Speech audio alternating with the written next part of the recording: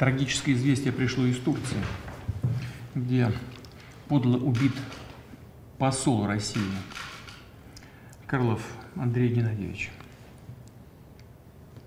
Я прежде всего приношу самые искренние и глубокие соболезнования всем родным и близким нашего товарища, который ушел из жизни. Это был блестящий дипломат,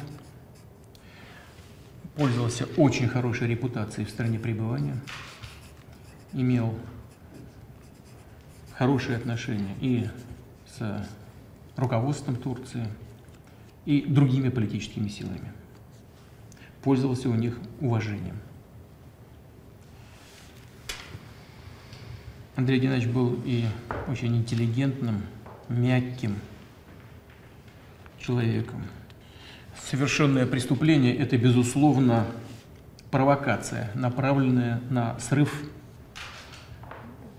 нормализации российско-турецких отношений и на срыв мирного процесса в Сирии, который активно продвигается Россией, Турцией, Ираном, другими странами, заинтересованными в урегулировании межсирийского конфликта.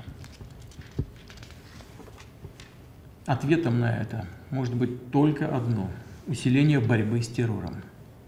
И бандиты это на себе почувствуют.